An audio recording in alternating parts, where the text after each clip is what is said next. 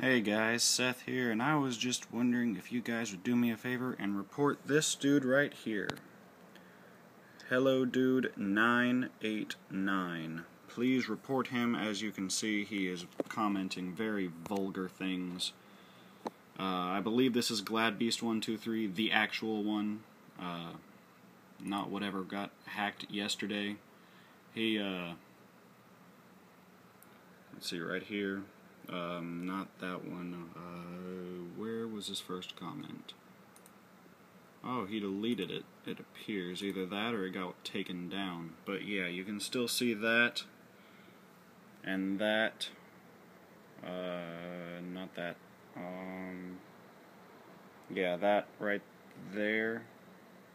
Yeah, so guys, please go uh, go report this guy. I'm pretty sure it's Glad Beast because he referred to many things about a month ago that I, I corrected his grammar on something because he called one of my friends an idiot, and I said, uh, "Pretty big of you to call someone an idiot when you can't spell," or something like that. And uh, yeah, he freaked out, and now he's got uh, new accounts trolling me and his friends to troll me. So if you guys would go report him in any accounts you know of that are GladBeast123, please go report them because this guy is just. It's ridiculous. Absolutely ridiculous. There's no need to keep this going on for a month.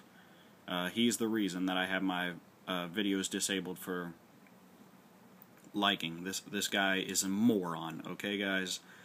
So, thank you guys and I hope this guy gets kicked off of YouTube for good.